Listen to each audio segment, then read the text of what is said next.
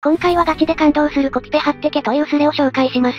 1本目は2022年10月に建てられたスレです。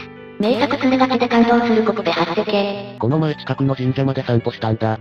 絵馬がたくさんあって、あまりいい趣味じゃないなと思いながらも、他人のいろんな願い事を見ていたんだ。大学に合格しますように〇〇と一緒にいられますように。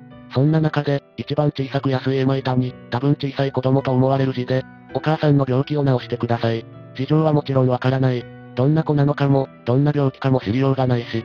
けど、この子のお願いが叶うように祈るよ。本当に心から祈るよ。昔知的症、思った子がサッカー部にいてな。でも皆から受験にされずそれでも子供の症、物意識みたいなものはあったけど仲良くしてて、そいつはゴールがどっちかもわからないのに頑張ってて、ある日接戦で2の試合をしていたんだ。でも大切な試合じゃないし、良い経験になるからって全員特会引っ換えで出してたんだけど、試合の終了直前、俺がバックパスをその子に出したのね。そしたらその子見事にオウンゴール決めちゃったわけ。敵もその子が障害者だと知ってたみたいでクスクス笑ってた。で、サッカーのことになるときで出すキャプテンが発した言葉が、すげえよ〇〇大逆転だ。みんなそれに続いてナイス〇〇とか言ったりハイタッチしたりしてた。相手のポカーンとした顔とその子の嬉しそうな顔は今でも忘れられない。朝、いつも乗っているバスに乗り、最後部座席に座って、景色を眺めていると視線の先に読書をしているメガネのお兄さんがいた。ずっと顔を下に向けたまま動かないので、集中しているなぁと思いながら、また外を眺めていた。いくつか停留所を過ぎて、座れない人が出始め、立っている人が5、6人くらいになった。そんな中、次の停留所のアナウンスが流れた。すると、読書をしていたお兄さんが突然顔を上げて、バスの中を後ろから前までさっと眺めた。私は本に集中しすぎて、乗り過ごしちゃったのかな、思いながら観察していると、また読書に戻り、なんだ違ったかと思いつつも、することもないのでお兄さんをなんとなしに眺めていた。次の停留所がいよいよ近づいてきて、再びアナウンスが流れた時に、またお兄さんは突然顔を上げて窓の外をさっと眺めて、本をパタンと閉じてバッグにしまった。降りるのかなとぼーっと眺めているとバスが止まった。お兄さんは席から立ち上がり、今ままで座っていた席の側に立ち、そのまま窓側に向いて吊り革に捕まった。降りないの？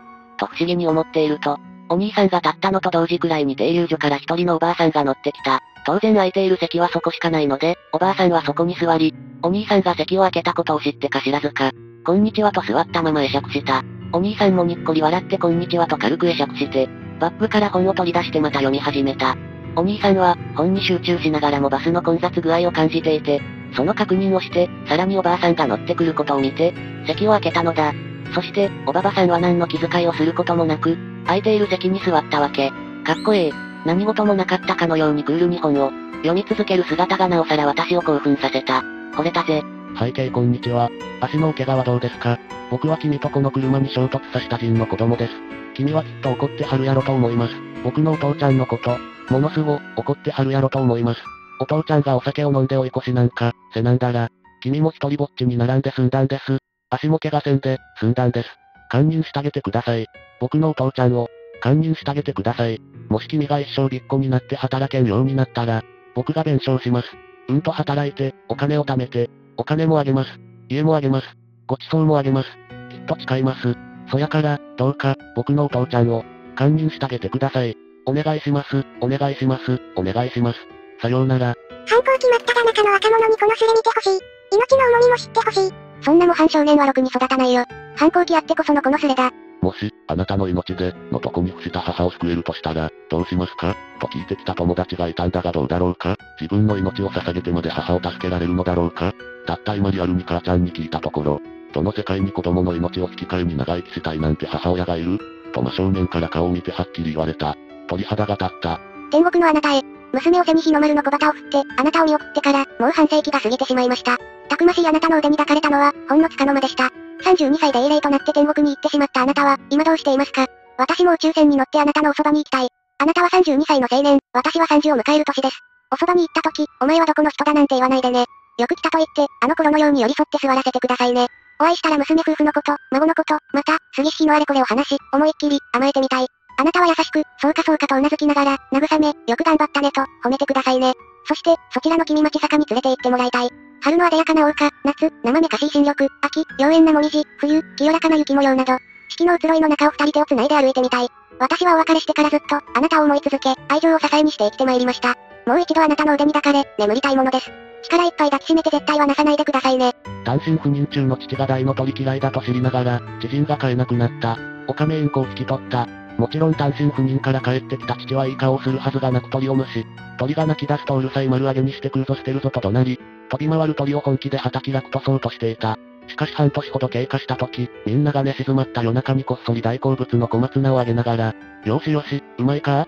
小松菜だぞお前好きだろう。と嬉しそうに話しかけている父の姿を目撃。人一倍体格のいい父が葉っぱ一枚を掴んで小さな鳥に食べさせている姿に和みました。その後もあとちょっとなんだけどなあなあお前と独り言がするので、覗いてみたら、撫でようとして太い指をぬっと突き出す父と、どうしたらいいものか困って孫つく鳥の姿が、少しずつ距離を縮めている一人と一匹に萌えでしたう。ちなみに今では飛び回る鳥に止まって欲しくてたまらないらしく、飛び回り始めると、両腕をピーンと伸ばして鳥の進行方向でくるくるしてます。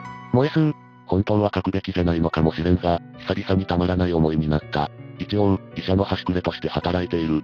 こういうなりわいだから、人の、に接するのは少なくない。ちょっと前、診察に訪れた若者に余命宣告をしたばっかりだ。男は、参ったな。俺。男はの、入院とか治療の開始とか、すぐ始めないといけませんかね俺、それはもう、すぐにでも取り掛からないと。男うん。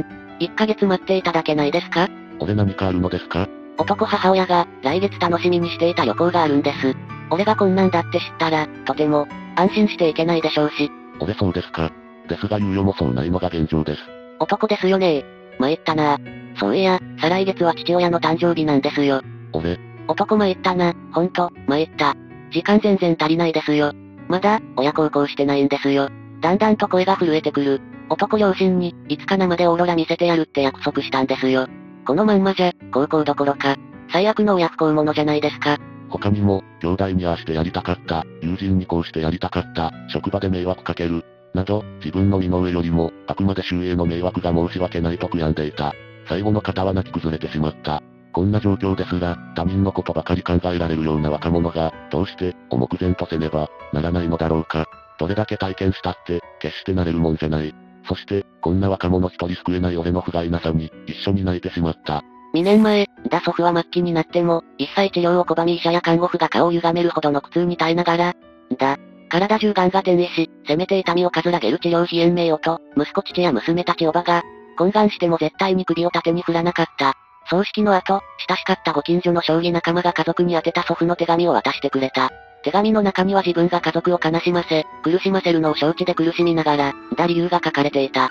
20年近く前、孫の一人が生存率20を切る難病で闘病していた時、祖父は神様に誓ったのだそうだ。自分は今後どんな病気や怪我になろうとも、絶対に医者にもかからないし薬も飲まない。だから孫を助けてくれと願をかけたのだそうだ。幸いその孫は無事手術も成功し、成長して成人もした。孫の成長を見届けることができたのだからもう思い残すことはない。あとは神様との約束を果たすだけだ。だから家族は悲しまないでほしい。自分は満足して一生を終えるのだから。そう綴られていた。孫は当時1歳にもならない赤ん坊で、病気だったことも覚えていない。祖父は自分の決意を貫いて一生を終えた。その孫である兄は葬儀でワンワン泣いていた。もちろん、兄弟も皆泣いた。うまく書けないのが悔しいな。本当に祖父はすごい人だったんだよ。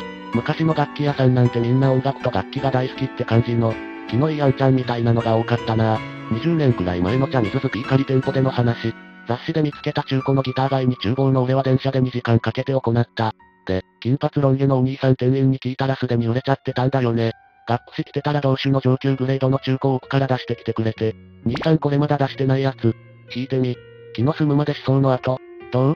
気に入った？〇〇円でいいよとにっこり。かなり安くしてくれたんだろうけどやっぱり上級機種だから手持ち予算いっぱいいっぱい。俺買えなくはないんですけど、帰れなくなっちゃう。兄さんどっから来たの？俺〇〇券です。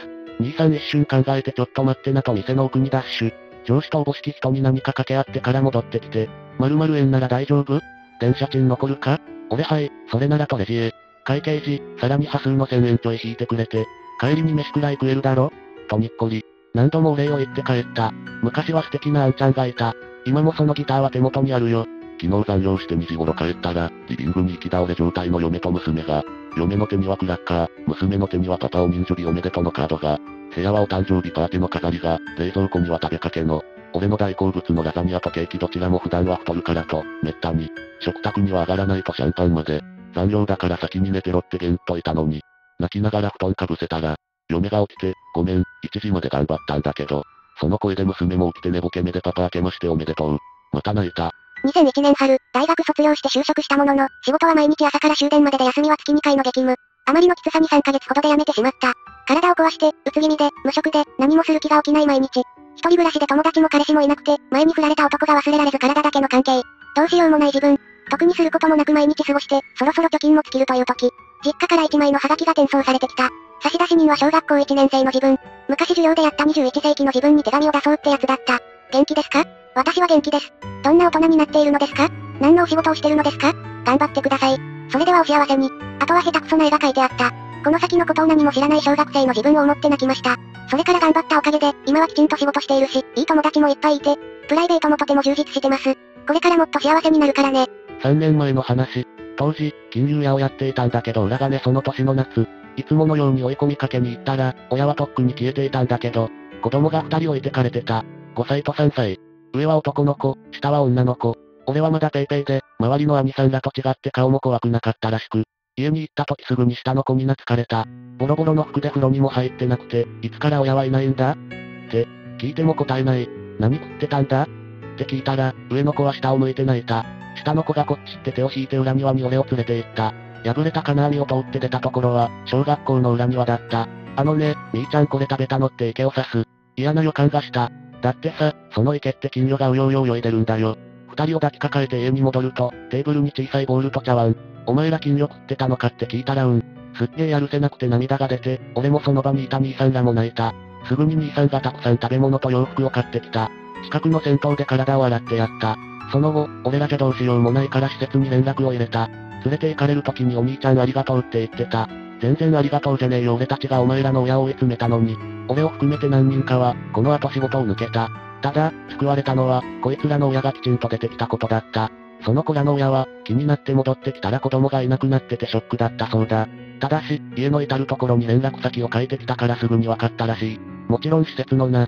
事務所だったらビビって逃げるから、子供を迎えに行った時に、自分らのやったことの重大さに気がついたそうだ。俺はもう足抜けしてたし、気になってたからちょくちょく施設に見に行ってたんだけど、親が改心してよかったよ。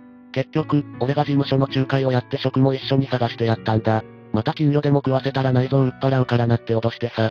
借金の返済はまだ残ってるだろうけど、両方ともすげえ働いているだろうな。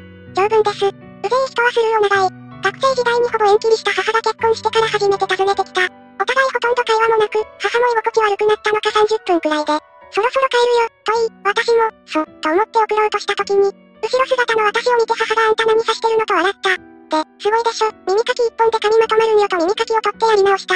母は可愛い髪やな、と思ってたんだけど、へえと感心するように目を見開いた。なんか嬉しくなって旦那にはふんとスルーされた私。その長さでもできるかも？座って座ってと食卓に戻って母に座ってもらった。串持ってきて解くと、昔子供時代に触れたような記憶がある母の髪と違って、バサバサになっててね。何か涙が出てきてボロボロ泣けてきた。何泣いてんのと振り返った母の目も赤かった。鼻もすすってた。なんとか母の髪も夜会巻きできたけど、やっぱり耳かきだったから泣き笑いしてしまった。その後、やり方を母に一生懸命教えて、母も腕が痛いと言いながらも、さすが女のロマン、めげずに練習して随分できるようになり、ボールペンでやったり、いらないお箸でやったり、二人でゲラゲラ笑いながら遊んでた。最後は嬉しそうに、涼しいし嬉しいわこのお箸、もらっとくとそのまま箸を頭に刺して車に乗って帰っていった。昨夜、母から夫婦箸とかんざしが送られてきた。かんざしは母とお揃いらしい。教えてくれた人たち、このスレージしてくれる人たちありがとう。本当にありがとう。これからは少しずつ親孝行しようと思います。そんなことより一よ、ちょいと聞いてくれよ。それとあんま関係ないけどさ、この間、妹が入院してるがんセンター行ったんです。がんセンター。そしたらなんか親戚とかがいっぱいで座れないんです。で、よく見たらなんか張り紙してあって、面会謝絶とか書いてあるんです。もうね、アホかと、バカかと、お前らな、面会謝絶ごときで普段来てないがんセンター来てんじゃねえよ、ボケが。面会謝絶だよ、面会謝絶。なんか親子連れとかもいるし、一家4人でがんセンター、おめでてえな。きっと大丈夫だよ、とか言ってるの。もう見てらんない。お前らな、泣きたくなるからそんな慰めはやめろと。がんセンターってのはな、もっと殺伐としてるべきなんだよ。待合室の椅子座ったやつといつ喧嘩が始まってもおかしくない。刺すか刺されるか、そんな雰囲気がいいんじゃねえか。女子供は、突っ込んでろ。で、やっと妹に会えたと思ったら、妹のやつが、お兄ちゃんいつ家に帰れるかな、とか言ってるんです。そこでついに号泣ですよ。あのな、号泣なんて競技流行んねえんだよ。ボケが、寂しそうな顔して何が、早く遊びたいねだ。お前の12年間は本当に幸せだったのかと問いたい。問い詰めたい。小1時間問い詰めたい。お前、辛いだけの人生ちゃうんかと。頭の中が真っ白になった俺から言わせてもらえば、今、妹にかけてやれる言葉はやっぱり、すぐに良くなるよ来週ぐらいには家に帰れるから、これだね。元気出して欲しくて吐いた嘘。これが俺の最後の会話。嘘ってのは妹の笑顔が多めに見れる。そん代わり涙が少なめ。これ、って、それに叶えてあげることのできない約束。これ最強。しかしこれを言うとずっと後悔してしまう危険も伴う、諸刃の剣。素人にはおすすめできない。まあお前、一致は、妹のために先行でもあげてやってくださいってこった。これです。やっと見つかった。お騒がせしました。これはだっと保存して泣きたい時のために取っておこう。私の母は、趣味の一環。で、年末になると毎年、お正月のおせち料理を食べる時に使う祝い箸を、あらゆる知人に配っています。昨年、母はがん、で家族と離れ、京都の方に入院している。同僚の男の方に、何の気なしに箸を送りました。その時、病気の進行により、すでに食事は愚か誘導食をチューブで、流し込んでいる状態だとは知らなかったからです。後でそのことを知人から聞き、無神経なことをしてしまった、と、母は後悔していました。しかし、お正月明けに期待値通りの手紙、その同僚の方からでした。手紙には、このように書かれていました。病気になって初めて健康であることの大切さを、食べるという基本的な人間の行動すらできなくなった自分は、切実に痛感し、半ば方針的になっていました。しかし、そんな私にもいつもと変わらず箸を送ってくれてありがとう。正月までにはこの箸を使って食事ができるように、頑張ろうという、大きな励ましになりました。本当にありがとう。手紙を読みながら母は泣いていました。翌月、その方は亡くなってしまいましたが、母のした行動は、彼にとってすごく勇気づけられたことだったんだなと思いました。働きすぎの私のお母さん。あなたも健康に気をつけて長生きしてね。俺の母さんは、生まれつき両腕が不自由だった。なので料理は基本的に父が作っていた。ただ、遠足などで弁当がいる時は、母さんが頑張って作ってくれていた。でも、小学校6年の時の遠足で、見た目が悪い母さんの弁当を見られるのが嫌で、とうとう弁当はコンビニで買っていくから、この弁当はいらないと言ってしまった。母さんはそんなバカな俺に、ただ、うまく作れなくてごめんねとしか言わなかった。時は過ぎ、小中は給食だったのだが、高校になってからは給食はないので、いつも昼は購買のパンで済ませていた。しかし、高校2年になったある日、母さんが弁当を作ると言い出した。それは遠足の時に作ってくれたものとは、見た目も味も段違いに良くなっていた。不自由な手で、一生懸命作ってくれたのだ。と、思ったのもつかの間。肺炎で入院したかと思うとぽっくり言ってしまった。弁当を作り始めてから3ヶ月しか経たないうちに、母さんが、だーと、親父から聞いたのだが、どうやら母さんは俺のために、定食屋をやっている知り合いのところに、1年間料理を習いに行っていたらしい。そして後日、その定食屋に行ってみた。定食屋の人と俺は直接、関わりはないけれど、優しそうな人だった。そして母がよく弁当に入れていたメニュー、ハンバーグ。それの定食を頼んだ。そして、それを口にした途端、ボロボロと涙がこぼれてきた。たった3ヶ月しか食べられなかったけど、確かに母さんのハンバーグの味にそっくりなのだ。腕がまともに動かせないのに、頑張って作ってくれた、あのハンバーグの味。形は少し不細工だったけど、とても美味しかった、あの、ハンバーグの味。嫁の日記を盗み読みしたら、いつも昼飯は、納豆ご飯やお茶漬けしか食べてないって分かった。友達とファミレスに行くのも月に一度と決めてるらしい。俺に美味しい料理を食べさせたいからみたいな意味のことが、書いてあった。昼飯削って夕飯に回すって。しかも、すげえ明るく書いてあんの。今日はまるちゃん俺の好きな柿を買うのだとかさ。俺の文句とかも書いてあるけど、文句書いてるくせに最後は俺をかばったこと書いてるし。マジで泣いた。もっと俺に解消があれば昼から寿司でも何でも食わせてやるんだけどな。給料少ないのに専業でいてくれって言ったの俺だし。金のことで責められたこと一度もないしタバコ減らせとは言われるが、節約も楽しいよとか言ってたし、盗み読みは良くないことだが、結婚してよかったってつくづく思った。こんなに俺に尽くしてくれたのって親以外で初めてだし、何もしてやれんから、浮気だけはしないと誓うよ。ま、浮気しようにもモテないからできない俺だがな。それ見てて自分の不甲斐なさを感じた。クソ母親にしてあげたこと何一つないじゃんか。2年前旅行先での駐屯地祭で例によって変な団体が来て私は嫌な気分。その集団に向かって一人の女子高生とおぼしき少女が向かっていく。少女あんたら地元の人間か？団体私たちは全国から集まった市民団体でうんぬん。少女で、何しに来たんや？団体憲法違反である自衛隊賛美に繋がるうんぬん。少女私は神戸の人間や。はるばる電車乗って何しにここまで来たかわかるか？団体？少女自身で埋もれた家族を助けてくれたのはここの部隊の人や。寒い中ご飯作ってくれて、風呂も沸かしてくれて、夜は夜で槍持ってパトロールしてくれたのもここの部隊の人や。私は、その人たちにお礼を言いに来たんや。あんたらにわかるか？消防車が来ても通り過ぎるだけの絶望感が。でもここの人らは歩いてきてくれはったんや。最初、怒鳴り散らすように話し始めた少女は次第に涙声に変わっていった。あまりにも印象的だったのではっきり覚えている。団体は撤退。彼女が門をくぐった時に森江さんが彼女に社交辞令の軽い敬礼ではなく直立不動のまま敬礼していた。俺に言わせてください。ありがとうって言いたいです。いつも毒男板に来ては煽ってばかりいた性格の悪さを顧みています。きっと俺に罰が当たったんだ。悪性リンパ知ってておくれって。母さん、マジでありがとう。ありがとう。ありがとう。ありがとう。ありがとう。ありがとう。ありがとう。ありがとう。ありがとう。ありがとう。ありがとう。産んでくれてありがとう。こんな俺でも産んでくれてありがとう。愛情を注いでくれてありがとう。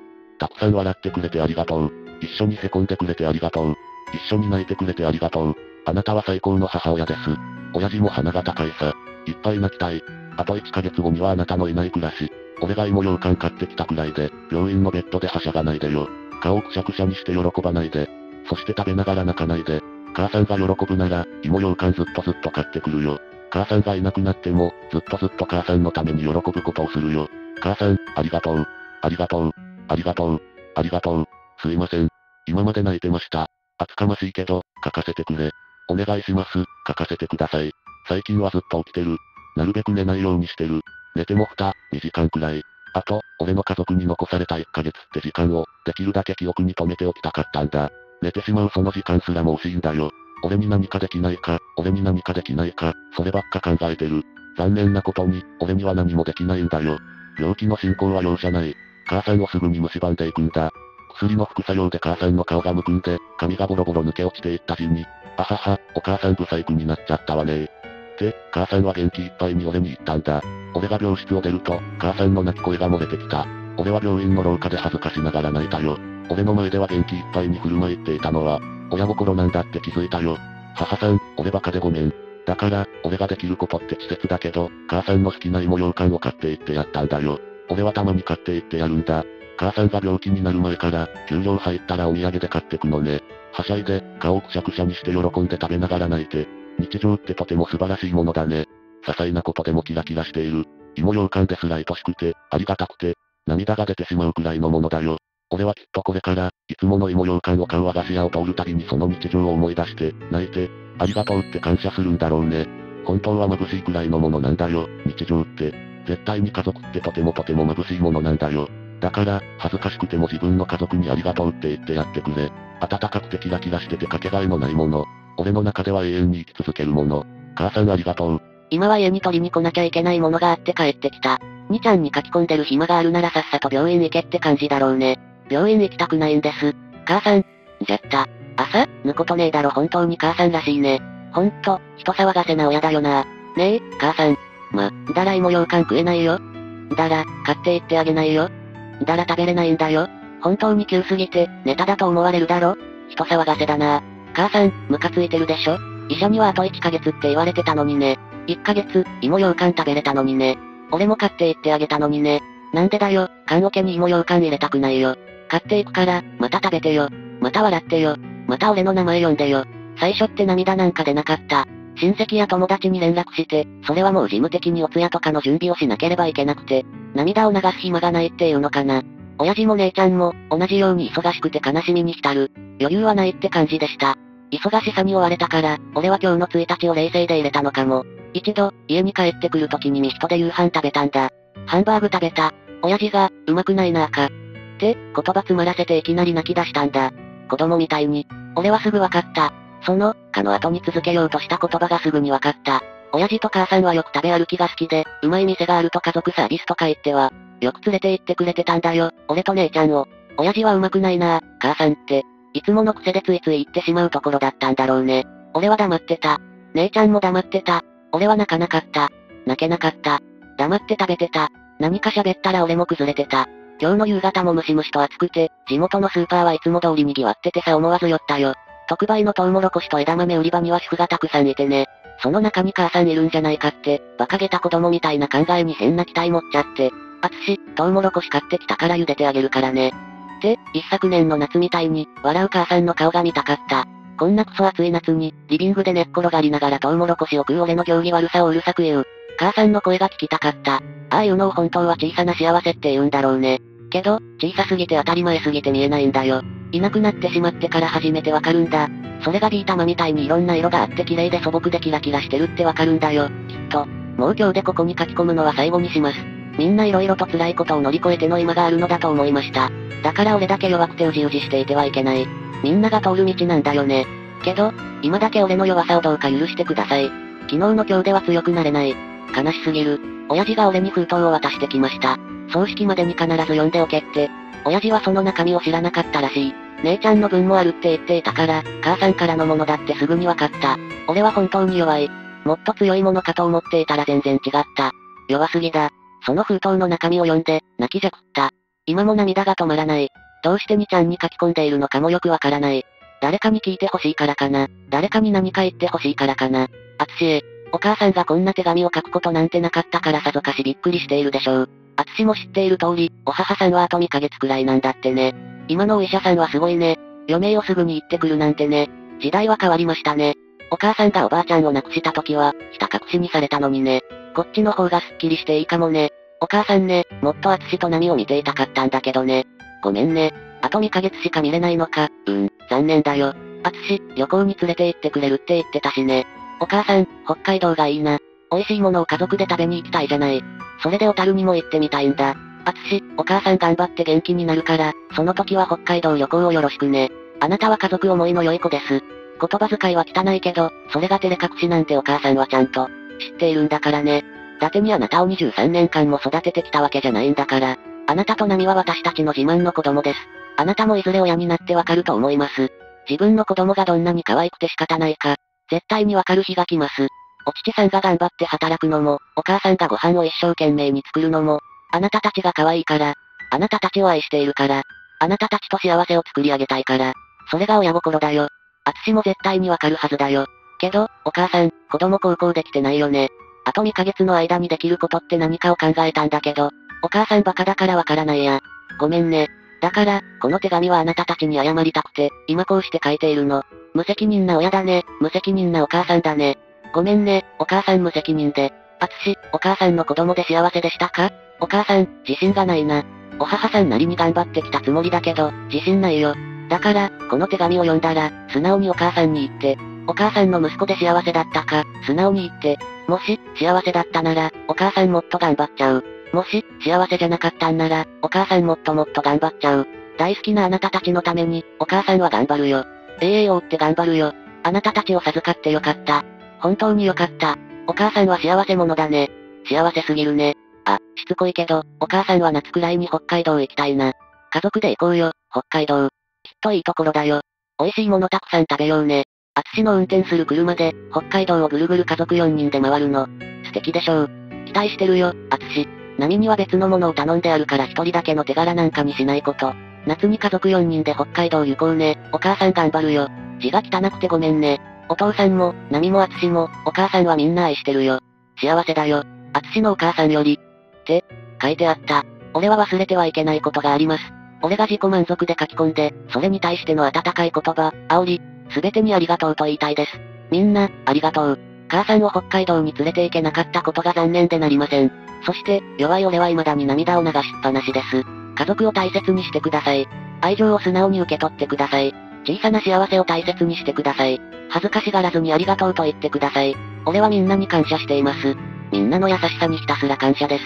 夏が過ぎて秋になって、冬になって、どんどん季節が巡ります。その中でのありがとうって、誰にでもあるはずです。素直にありがとうと言えることは素晴らしいことです。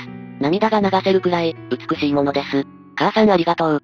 成人式の日に家帰ってきたら家に母ちゃんの、大転がってた俺よりマシ。マジ。同窓会で酒飲んで同級生とワイワイして、帰ったの夜の7時ぐらいなのな。で母親だけど重度のアルコール依存症で、それと医者で処方してもらった睡眠薬同時に飲むから、寝たりすると完全に意識飛ぶ。座ったまんま、前のめりになって窒息してた。検してもらったら、あと5時間、成人式終了後即帰ってれば心臓動いてたらしい。悪いけど事実なんだ。話が話だけに重々しくて誰にもできんかった。場違いだからそろそろ自重するわ。ちなみに今年の話。沖縄に行かないいきなり母が電話で聞いてきた。当時、大学3年生で就活で大変な頃だった。忙しいからダメと言ったのだが母はなかなか諦めない。どうしてもダメ今大事な時期だから。就職決まったらね。そう母は残念そうに電話を切った。急になんだろうと思ったが気にしないでおいた。それから半年後に母が、だ、癌だった？医者からは余命半年と言われてたらしい。医者や親戚には息子が今大事な時期で、心配するから連絡しないでくれと念を押していたらしい。父母俺と二人家族で中学の頃、父が交通事故で、に、パートをして大学まで行かせてくれた母。沖縄に行きたいというのは今まで俺のためだけに生きてきた母の最初で最後のわがままだった。おばから母が病院で最後まで持っていた小学生の頃の自分の絵日記を渡された。パラパラとめくると写真が挟んであるページがあった。絵日記には今日は沖縄に遊びに来た。海が綺麗で雲が綺麗ですごく楽しい。ずっと遊んでいたら旅館に帰ってから全身が焼けてむちゃくちゃ痛かった。というようなことが書いてあった。すっかり忘れていた記憶を思い出すことができた。自分は大きくなったらお金を貯めて父母を沖縄に連れて行ってあげる。というようなことをこの旅行の後、言ったと思う。母はそれをずっと覚えていたのだ。そして挟んである写真には、自分を真ん中に砂浜で飲み人が楽しそうに写っていた。自分は母が電話をしてきた時、どうして母の唯一のわがままを聞いてやれなかったのか。もう恩返しすることができない。涙がぶわっと溢れてきて止められなかった。今日よ、俺の養父におとんって言ってやったんだよ。そしたら養父がいきなり泣き出しやがったの。そしたらどうよ俺もなんか突然泣き出しやがんの。真冬の縁側で男二人が会話もなく鼻水だらだら流しながら泣いてんの。俺ね、小学校4年生の時にね両親が交通事故で丸んだのよ。なんか弟と妹も一緒に丸んでやがんの。俺突然天外孤独だよ。びっくりしたね。母方のじいちゃんがいい人でよ。なんか俺を引き取るとか言い出したんで引き取られたのよ。そしたら中学校1年の時にソフチアンもあっけなく言ったね。ちょ、おま。そっからマジ大変。中学生ながらにこの世の世知辛さを知ったね。親戚たらい回しっていやマジでたらいを回したわけじゃなぜ。いい人もそこそこいたけど大半はあれだあれ。お前らそれなんてヒルドラの登場人物？みたいや奴らばっか。俺親戚の引きよえええ中学校3年になるまで転校に次ぐ転校。俺謎の転校生。でも勉強だけはしてたんだぜ。家に帰りづらいから図書館に通ってたら暇だっただけだけど。そしたら中学3年生の3学期の頭だよ。なんか登園の夫婦が俺引き取りたいとか言い出してんの。何このお人よし。で俺、まんまと引き取られてやんの。バカじゃね？普通疑うだろ？何か裏があるんじゃないかとか。でも俺疑わないバカだから。そしたらこの夫婦、鬼いい人。本当にみたいにいい人。迷惑かけられませんのでバイトして家賃入れますとか俺が親切にも提案してやったのよ。鬼のような形相で怒られたね。家賃なんかいらんわボケ。その代わり家族の一員なんだから家の仕事してもらうからなって。そっから俺の仕事は犬の散歩と風呂洗い。うは？俺寺かじ手伝い。犬寺かわいす。モップもふにしてやんよ。で引き取られて1ヶ月、朝から養父と養母がスーツ着て俺待ってんのよ。養父が、なんやねんこれは？って俺に進路相談のプリント見せてるの。ちょっそれ俺の部屋のゴミ箱に捨てたやつ。俺のプライバシー。ゴミ箱は男の香り満載って皆まで言わすな。俺生まれて初めての未社面談。教師がなんか俺のことめっちゃ褒める。こいつは境遇にも負けずに勉強してます大変かとは思いますが高校に行かせてやってくださいって。教師が養父と養母に頭下げてんの。ちょっおま、机にガクズりつけるぐらい頭下げんのは良いけど、お前のハゲ散らかしてる頭頂部が眩しい。眩しさに負けて俺涙目。教師自重しろ。そしたら養父だよ養父。突然すごいこと言い出すの。失礼なこいつには大学まで行ってもらうとか。お前俺の人生勝手に決めんな。なんか教師と養父ボテライキ統合。俺となりでポカーン。仕方がないんで俺寺勉強。図書館に行くのも面倒なんで家で勉強。養母の夜食寺うめえ。じゃこと鰹節の黄金コンビ、おにぎりに突っ込むだけ。はいはい無事高校合格。養父母がなんか俺の隣で泣いてんの。お前周り見てみろ、どこの親も泣いてねえって。高校生活マジ楽しす。転校ばっかりだったから諦めてたクラブ活動ってのをやってみた。剣道マジ楽しい。コテとかマジくせえなんか大会とかで養父母ガチ応援てら恥ずかしす。でも経験の差、俺大体2回戦か3回戦止まり。一度知性大会で準優勝したら夕食寺豪華。養父、普段飲まない酒飲んでめっちゃ笑ってるの。酔っ払って俺にビール勧めて養母に怒られてやんのうざまう。ってなんだかんだで高校3年だよ。楽しい時間って過ぎるの早すぎ。時間の流れマジ自重しろ。大学受験マジ大変。俺頭いいじゃん。だから国立とか狙ったのよ。不ひひさせん。なんか体壊すんじゃないかってくらい勉強したの。養母とかすげえ心配してんの。国立じゃなくても良いのよ。とか俺すげえ甘く見られてる。国立ぐらい楽勝ざまー。で俺無事合格。体重も6キロ減らしてダイエットも同時に成功。テラウマス。大学テラフリーダム。必修以外は自分の好きな授業取れるって何それ。中学校3年の時の担任に報告。教師電話口で号泣ハゲ等の眩しさで涙目になった時の復習完了。俺寺孔明。1年目は愚民どものレベルに合わせるために忙しかったからあっという間に過ぎた。養母また心配してやんの。勉強も良いけどもっと言うんでもいいのよって。お前は相変わらず俺を甘く見てる。俺の野望の邪魔すんな。俺弁護士になって俺みたいなクソガキなんとかすんの。で将来そいつら集めて秘密結社結成。で2年目。突然養母が倒れやがった。ベッドに寝ながら養母。第一声が勉強はいいの？ってやっぱお前俺甘く見すぎ。で病名は？って聞いたら胃がんとか言い出すの。カーテンから入ってくる夕日が眩しすぎて俺涙目。看護師ちゃんと仕事しろ。養父がなんか勘違いして俺の肩がっちり抱いてんのうちょ、お前も涙目をカーテンから漏れてる夕日次長。って養母。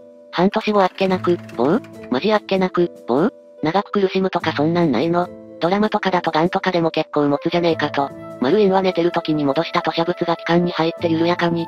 俺、その間ベッドの隣のソファで寝てんの。俺の鈍感力最強。って養母の葬儀。集まった親戚が話してんの。ちょっお前らヒルドラの連中。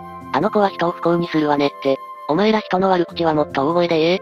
そしたら養父突然大声出しやがんの。うちの息子の悪口言ったボケはドイツじゃあって。お前痩せすぎの眼鏡のくせに口調ヤクザ。しかも寺葬儀中、マジ自重しろ。ちょうど入ってきた坊さんが硬直してんじゃねえか。坊さんも空気読め。で焼き場。養母骨、マジ骨、ほんと骨、どうしようマジ骨。どうすんのよ俺。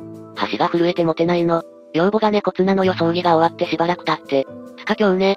養父が寝てみてんの。庭手入れする人いなくてマジカオス。なんか背中がすっげえ小さいの。俺が後ろにいんのも気がつかねえの。ボソボソなんか言ってるの。頑張ったねえよとかで俺だよ俺土下座。生まれて初めての土下座。隣で寝てたのに気がつけなくてごめんなさいってガチ謝罪。おでこに畳の跡がつくくらい土下座。俺土下座にも手加減なし。そしたら養父が俺の首根っこ掴んで引きずり起こすのよ。俺はお前のなんだってお前大声すぎ。近所迷惑考えろ。あいつはお前のなんだってお前二度も大声出すな。で俺ここはやー読んだね。空気をからけとは読まない俺天才。養母に対してずっと出せなかった。勇気を今こそ振り絞る時だと悟ったね。でも俺バカう。ほんとバカ。恥ずかしくなっておとんとか言ってんの。お前そこはお父さんだろって自分で突っ込んだね。なんかもう役わかんねえの。鼻水とか粘性のないのがボタボタ落ちんの。おーおーって言って二人で泣いたね。おーおーって。お前ら気でも高めてんのかと。おとんがね養母にも今度言ってやってくれって言われてね。おうって男前な俺は男前にぐしゃぐしゃな顔で答えたわけなんだけどね。言った手前ね、もうなんつうの弱音とかね、おとんに吐けないわけね。まあこれが最後のレスなわけで落ちっつう落ちもなくて釣りでもないわけなんだけど、最初はどっかのスレッドでガーッと書いてスッキリしようと思ったんだけど、突然、今から俺が書くようなことを書かれたらスレッドの空気が悪くなると思って自分でスレッド立てて、まあ俺のわがままで意味不明なレスをつけるのもあれなのでなんで今から書くようなことを書いたのか、わかるように説明したわけなんだけどね。おばさんごめんなさい。病気に気がつけなくてごめんなさい。喉を詰まらせたのに気がつけなくてごめんなさい。心配ばっかりかけさせてごめんなさい。勇気がなくてごめんなさい。お母さんって呼びたかったです。本当に呼びたかったです。でも怖くてできなかったんです。返事がなかったらどうしようかと思うとどうしても言えませんでした。だからこっそりあなたが寝てる時にお母さんって呼びました。俺があなたが生きている間に言えた時はその時だけです。後悔してます。ごめんなさい。お母さん大好きです。本当に大好きです。お母さんの作ってくれたじゃこと鰹節のおにぎりが大好きでした。家に帰って温かいご飯が美味しかったです。お母さんのだし巻き卵が大好きでした。お母さんお母さんお母さんお母さんお母さんお母さん俺のお母さん俺のお母さん。うんだな OK 俺のお母さんだ。途中から自分でも役わかんなくなって5時でも探そうかと思ったらすげえ文章になってるよ。俺寺電波う。牛すっきりしたまさに俺のわがままだけのスレッド。とりあえず週末に破壊って言ってくる。お前らマジで親は大事にしろよじゃあな。もっとこのスレの良い話をみんなが読めば、良い世界になると思うんだ。何気なく人を勇気づけられるような、そんな人間になれたらいいよね。恥ずかしながら、自殺を図って失敗。病院を退院するとき、悩みから解放されて眠っているあなたは、とても綺麗であのまま眠らせておいてあげたかったけど、僕は医者だからね。とおじいちゃん先生だったけど、綺麗なんて言われたことがないので嬉しかった。その後、私をまっすぐに見て、生きなさいと言ってくれた。もう何年も前のことだけど、辛くなったら思い出す。ばあちゃん、糖尿病を患ってて、目が見えなかった、ばあちゃん。一番家が近くて、よく遊びに来る私を随分可愛がってくれた。思えば、小さい頃の記憶は、ほとんどばあちゃんと一緒にいた気がする。一緒に買い物行ったり、散歩したり。だけど、ばあちゃんの体が弱っているのは子供だった私でも分かった。高校に入ると、友達と遊ぶ方が多くなっていて、ばあちゃんの家に行くことが少なくなっていた。たまに行くと、さあちゃんかい？と弱々しい声で反応してた。もう、声だけじゃ、私だってわからなくなっていた。そうだよ、さあちゃんだよ。ばあちゃん、散歩行こうか？手を取って、散歩に行ったけれど、もう昔歩いた場所まで、ばあちゃんは歩けなくなっていた。それから、あまりばあちゃんの家に行くことはなくなってた。しばらくして、母さんからばあちゃんがボケちゃったよと聞いた。誰が誰だか、わからないんだって。私のことも、わからなくなってるらしい。なんとなく、覚悟はできていた。それから、半年くらい過ぎた頃、ばあちゃんが、だっていう知らせが届いた。泣くこともなく、通夜、葬式が終わった。葬式が済んだ後、私はおじに呼び出された。おじはばあちゃんたちと最後まで暮らしていた人だ。タンスの中にな、さあちゃんのっていう封筒が入ってたんだよ。そう言って、私に封筒を手渡した。ばあちゃんの字で、さあちゃんのって書いてあった。中身は、通帳だった。私名義の、20万ほどの預金が入っていた。働いてないばあちゃんが、コツコツ貯めたお金。そういえば、昔、ばあちゃんが話していた。さあちゃんが結婚する時のために、ばあちゃん頑張ってるからね。だから、ばあちゃんにも孫抱かせてね。その夜、初めて泣いた。ばあちゃん、あれから5年も今日っちゃったけど、さあちゃん、来年結婚するよ。孫抱かせてやれなくてごめんね。でも、喜んでくれるよね。枕濡れて冷たくなっちゃったよ。5年くらい前の話。飼ってた猫が、だ。情がつくほど溺愛してた。自分より猫の方が大切なくらい可愛がってた。親はたまに猫を叱るけど、俺は叱ることも、もちろん叩いたことなんてなかった。でも、一度だけ大きな声を出してしまったことがある。それはドラマを見ている時で、ちょうど良い感じの盛り上がるところ。そこで、猫がしつこく泣いて外に出たがった。だから俺はついうるさいって言ってさっさと外に出した。その一度だけ。翌日、学校から帰ってきたら猫が、出た。ぬ前に言った言葉がうるさいだなんて泣きたくなった。あの時、ぬ姿を俺に見せたくなかったから外に出たがったのだろうか。猫に言った最初で最後の不満の言葉。しばらくは立ち直れなかった。でもある日、夢にその猫が出てきて、俺の足に体をすり寄せてきた。まるで、怒ってないよと言ってくれてるように、夢から覚めて思った。ああ、この夢は俺の願望なんだろうと。俺は、それでも涙が止まらなかった。母が言った。ほんとあっという間だった。風は万病のもと。みんなそう言うよね。思い知ったよ。確かに風はひいてたよ。だが1月1日朝洗濯物干してたのに3日の朝には冷たくなってた。救急車呼んだよ。乗せるまでもねえとよ。5、7時間くらい経ってるかもだと。バカ言ってんじゃねえその時間は覗いて呼吸音確認してんだよ。そのまま警察呼んで、検してもらったよ。陰不明ほんとそう書いてあんだぜ。会社への連絡表に。陰記入する際なんて書くか途方にくれたよ。連絡する人する人みな絶句。親戚連中も飛んできた。皆同じことを言う。信じられないと。一番信じられないのは俺たち家族だ。あと本人もかも、多分絶対わかってねえと思う。指に怪我して絆創膏貼ってる。これ貼った時はまだ元気だった。正月連休今日で終わり。連休入った時には考えもしなかった。紅白見てた。除夜の鐘聞いた。まだ元気だった。でも今いない。告別式も終わって、家ん。中ちょっと片付けてこれ書いてる。親父は呆然としてる。姉はまだ泣けないでいる。2009年なん。て年の始まりだ。昼食に寄ったファミレスでの話。俺の隣の席にお母さん。と3、4歳ぐらいの男の子が座った。ああうるさかったら嫌だなぁとしいながら、自分のオーダーを待ってた。すると、その隣に座った親子の会話が聞こえてきた。母〇〇は、お子様ランチでいい？すると、子が、内緒話をするように母の耳に手を当てて丸聞こえなわけだがう。こそいでいい。母もう少し声出してもいいよ。こそいにする笑顔。すべての子供がうるさいと思った俺謝れと自分に言ったよ。で、料理が運ばれてきて食べてると、子楽しいねお外でご飯は楽しいね。と母とニコニコ料理よく料理を待ってた。親子のところに料理が運ばれてきて、こ母シャンいたきますするよと母を促しててほのぼの。俺は食事が終わりコーヒー飲んでそろそろと思った時、隣の席から、こごちそうめちたって元気な声が聞こえた。こうやって、子供育ててるってすげえななんて思ってたら、母今日はデザート半分こしようねとデザートをオーダーしてた。最後までちょっと親子を見てみたいと思い、ゆっくり新聞読みながらコーヒーを飲んだ。親子の元にデザートが届き、チラ見するとこがあんまとめした。とウェイトレスにお礼してて、キューンとなった。母綺麗だね。楽しく食べようね。ごあんまとめした。母シャンあんまとめした。と母親にもお礼を言ってた。すると、母親が帰ったら、父ちゃんにもありがとうって言おうね。こん、父ちゃんあんまとめした。ってデザートに拝んでて、ああしつけって素晴らしいなと思ったよ。ここら辺までしか見てないけど、今日ほど結婚したいと思ったことはなかった。長文すんまそ読んでくれたらあんがとめした。大したことないから暇つぶし程度に読んでくれ。高校の時に親が再婚して半年くらいしか年の違わない弟ができた。弟の方が俺の高校に転校してくる系。俺、ラグビー部。体型は室伏。弟、美術部。体型はもやしかかいわれ。高校にもなって兄弟用なんて言われても馴染めず。お互いよそよそしい状態で、名前にさん付けで呼んでた。ある日俺は学校帰りにヤンキーに絡まれていた。何度かあったことだし、なんだかんだ絡んでくるくせに喧嘩をふっかけては、来なかったので、やれやれ程度のリアクションだった俺の後ろから叫んで、飛び出した奴がいた。おお俺のお兄ちゃんに何すんだー。質丸になってヤンキー相手にカバン振り回して追っ払ったのは弟だった。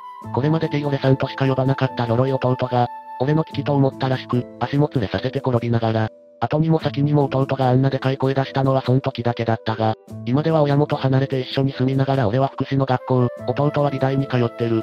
俺の弟の武勇伝でした。まとまらん分で済まない。いい弟だな。俺にも弟がいるんだがとてもそんな活躍は、期待できそうにないよ。小学校の頃弟を助けたが、当時小1だった弟は何を思ったか、知りません。で終わらしやがったぞこんちくしょう。おかげで先生からこっぴどく叱られた。俺は小学生の頃に母の作った炊き込みご飯が大好物だった。特にそれを口に出して言ったことはなかったけど母はわかっていて、誕生日や何かの記念日には我が家の夕食は必ず炊き込みご飯だった。高校生ぐらいになるとさすがにまたかよっと思うようになっていたのだが、家を離れるようになっても、たまに実家に帰ると待っていたのは母の、炊き込みご飯作ったよ。たくさん食べなさいの言葉だった。会社に電話が来て慌てて向かった病室にはすでに近くの親戚が集まっていた。モルヒネを打たれ意識のない母の手を握りしめると母の口が動いた。何か俺に言いたそうだった。母の口元に耳を近づけると、炊きこたよ。たくささいと消え入りそうな声で言っていた。それが最後の言葉だった。ママの作ったスパゲッティ大好き口の周りを赤くして、スパゲッティを食べる娘とそれを幸せそうな目で見つめる妻を見るたびに、母の炊き込みご飯が食べたくなる。私の17歳の誕生日に母がママ母であったことを聞かされた。私を産んでくれたお母さんは、産後すぐに亡くなったそうだ。生みの親より育ての親なんて言うが、その時の私は今まで騙されてきたという怒りと、慣れ親しんだ母が急に他人に思え、両親の話も聞かず部屋でふてくされて泣いていた。翌日から母をおばさんと呼ぶようになった。そう呼ぶと母はたまらなく悲しそうな顔をした。その後、何かと私に気を使い出し、になる母を余計に煩わしく感じ、口も聞かなくなってしまった。なんとなく家に居づらくなったので、夜は出かけるようになった。それから1ヶ月が経とうとする頃、しかとし続ける私に母が部屋で読んでねと手紙を差し出してきた。が、私はその場でぐしゃぐしゃに丸め、ゴミ箱に捨ててしまった。それを見ていた父が私を張り倒し、震える声で母さんはなと言ったが、私はろくすっぽ聞かずに泣きながら自分の部屋に逃げた。翌日、母は帰らぬ人となった。居眠り運転をしていたトラックが赤信号を無視し、母に突っ込んだそうだ。あまりに急な出来事のため、泣くこともできず、通夜が終わった後も母のそばで、呆然としていた私に、父がボロボロの紙切れを渡し、一言読めと言った。昨日の手紙であった。そこには母らしい温かい字でこう書いてあった。千夏ちゃんへ、17年間騙していてごめんなさい。お父さんはもっと早くに言おうとしてたんですが、あなたに嫌われるんじゃないかと思い、あんなに遅くなってしまいました。あなたの気持ち、とてもよくわかる。だってお母さん、偽物だったんだもんね。でもね、お母さん、あなたのことを本当のお母さんに負けないぐらい愛してるんだよ。千夏が成人しても、旦那さんができてもずっと、泣きながら書いたのか、字のところどころが滲んでいる。そして最後に震える字でこうあった。だから、またお母さんって呼んでね。私が感じた寂しさを、母は17年も耐えていたのだ。人の気持ちを考えられなかった私は、1ヶ月もの間、母を苦しめたのだ。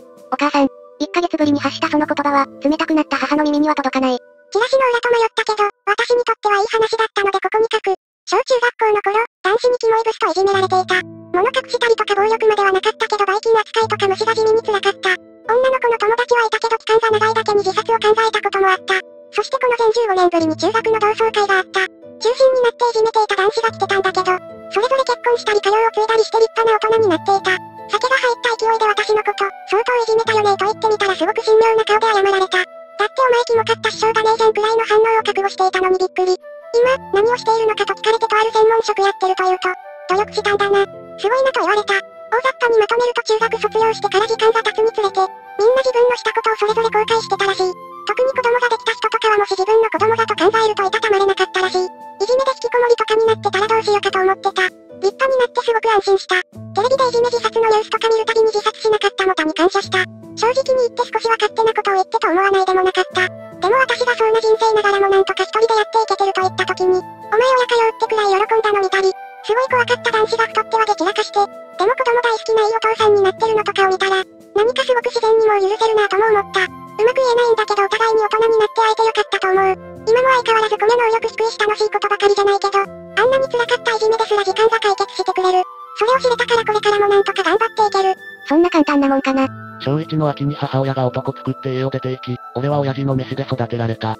当時は親父の下手くそな料理が嫌でたまらず、また母親が突然いなくなった寂しさも相まって、俺は飯のたびに感触を起こして大泣きしたり、わめいたり、ひどい時には焦げた卵焼きを親父に投げつけたりなんてこともあった。翌年、小2の春にあった遠足の弁当もやっぱり親父の手作り。俺は嫌でたまらず、一口も食べずにちょっとずつ分けてもらったおかずと、持っていたお菓子のみで腹を満たした。弁当の中身は道に捨ててしまった。家に帰って、空の弁当箱を親父に渡すと、親父は俺が全部食べたんだと思い、涙目になりながら俺の頭をぐりぐりと撫で、全部食ったか、偉いなありがとなと本当に嬉しそうな声と顔で言った。俺は本当のことなんてもちろん言えなかった。でも、その後の家庭訪問の時に、担任の先生が、俺が遠足で弁当を捨てていたことを親父に言ったわけ。親父は相当なショックを受けてて、でも先生が帰った後も俺に対して、怒鳴ったりはせずにただうなだれていた。さすがに罪悪感を覚えた俺は、気まずさもあってその夜、早々と布団に潜り込んだ。でも、なかなか眠れず、やっぱり親父に謝ろうと思い親父のところに戻ろうとした。流しのところの電気がついていたので、皿でも洗ってんのかなと思って覗いたら、親父が読みすぎたせいか、ボロボロになった料理の本と遠足の時に持ってった弁当箱を見ながら泣いていた。で、俺はその時ようやく自分がとんでもないことをしたんだってことを自覚した。でも初めて見る泣いてる親父の姿にビビってしまい、謝ろうにもなかなか踏み出せない。結局俺はまた布団に戻って、そんで心の中で親父に何回も謝りながら泣いた。翌朝、弁当のことや今までのことを謝った俺の頭を親父は、またぐりぐりと撫でてくれて、俺はそれ以来親父の作った飯を残すことはなくなった。親父は去年、だ。病院で息を引き取る間際、悲しいのと寂しいのとで、頭が混乱しつつ涙と鼻水流しながら、いろいろありがとな、飯もありがとな、卵焼きありがとな、ほうれん草のあれとかすげえうまかった。とかなんとか言った俺に対し、親父はもう声も出せない状態だったものの、かすかに笑いつつうなずいてくれた。こういうスレ見たら、優しい気持ちになれるな。以上です。皆さんは感動するエピソードはありますか？